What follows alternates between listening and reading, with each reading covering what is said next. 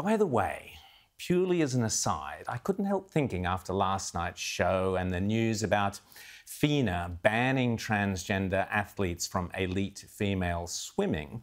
What a crying shame that Scott Morrison didn't actually follow his initial instinct, instincts on this topic. How different it all might have been had ScoMo back to the hilt the two brave Liberal women fighting so passionately for women's and girls' rights in this area.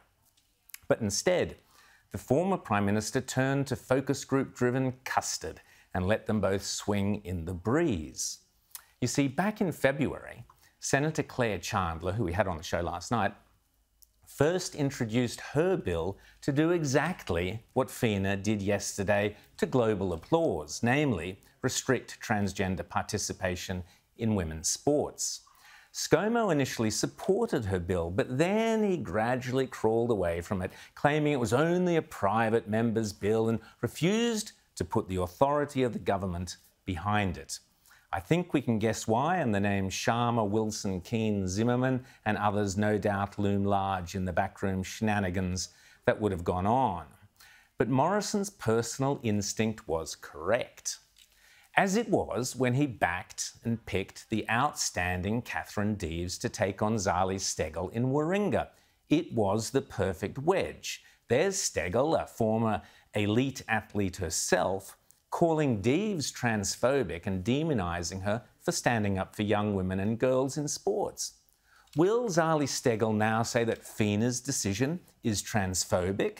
And if she won't, then will she apologise to Catherine Deves? In an electorate on Sydney's northern beaches where swimming is a rite of passage, Deves was spot on, and her arguments have now been accepted at the most elite sporting levels in the world.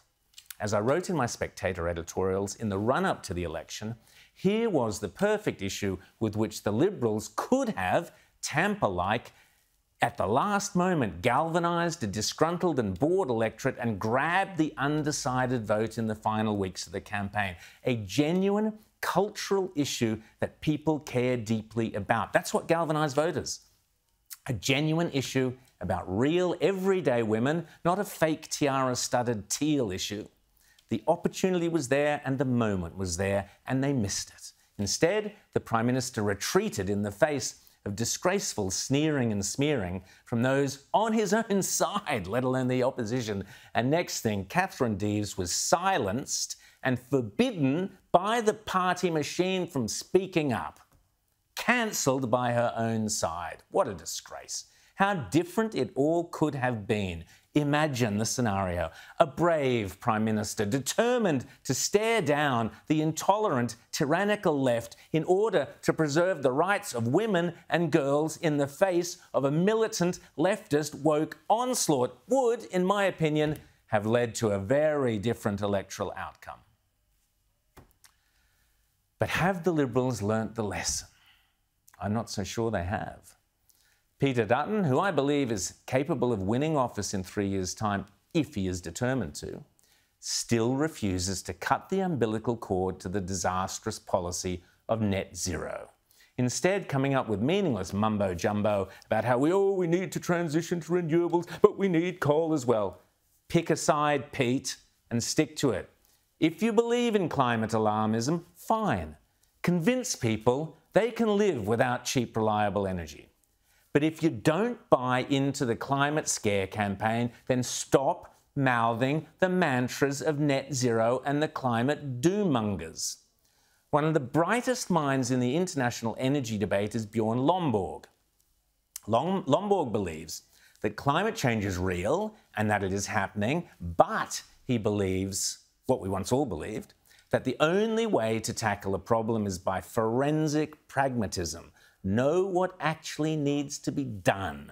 Know what you can afford to do. And be ruthless in analysing the results. This has led Lomborg, over the last decade or so, to the conclusion that it is well within our means to adapt to the worst excesses of climate change in a practical and tangible way, rather than this fantasy of changing the elements through inferior means of energy production, such as windmills and solar panels. Writing in the New York Post a couple of days ago, Lomborg says, and I quote, For three decades, climate campaigners have fought to make fossil fuels so expensive that people would be forced to abandon them. Their dream is becoming reality. Energy prices are spiraling out of control and will soon get even worse. Yet, we are no closer to solving climate change, says Lomborg. He goes on. Since the 2015 Paris Agreement was inked, the world's 1,200 biggest energy corporations have slashed capital investment in oil and gas by more than two thirds. Huge price rises are the inevitable result of forcing more energy out of an increasingly starved system. Lomborg cites disturbing statistics. Germany is on track to spend more than a half trillion dollars on climate policies by 2025, yet has only managed to reduce fossil fuel dependency from 84% in 2000 to 77% today. And as Peta Credlin just pointed out, Austria is now desperately panicking, trying to get more coal. Lomborg's conclusion is simple. Forget about making fossil fuels more expensive to price them out of the market. That's a mug's game. Instead, commit a relatively small amount to innovative green technologies, including next gen generation nuclear and so on, and wait for the breakthroughs. As he points out, humanity has relied on innovation to fix other big challenges. We didn't solve air pollution by forcing everyone to stop driving, but by inventing the catalytic converter that drastically lowers pollution. He goes on, we didn't slash hunger by telling everyone to eat less, but through the green revolution that enabled farmers to produce much more food, much of it from the excess carbon dioxide in the atmosphere. There you have it. The evidence, in my opinion, is clear. Rushing to meet meaningless timetables and desperate deadlines set by globalist bureaucrats, PowerPoint prezzo politicians, and hysterical teenagers by destroying our cheap and reliable energy sources has been a disaster.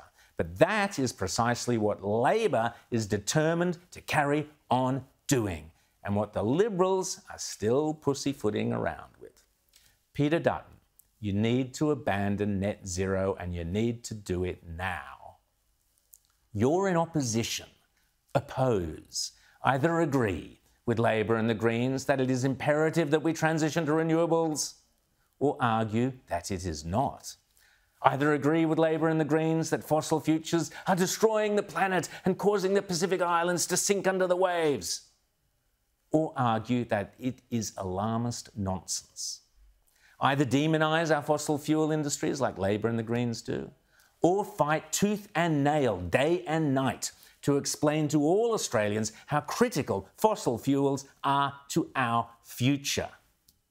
Either go along with Matt Kean's and Chris Bowen's fantasies about battery storage and pumped hydro, or call it out for the fiction it is either demand that all our energy sources, including nuclear, be free to compete without fear or favour in an open market with no government subsidies and no endless red and green tape restrictions.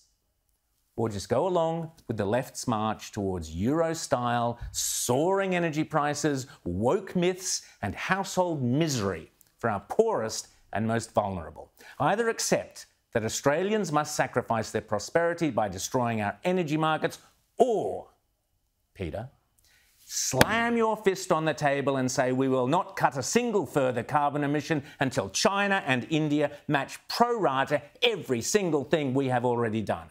Otherwise, Pete, get used to Albo swanning around the lodge for years to come while Mrs. Kafup's dishes pile up higher and higher in her sink.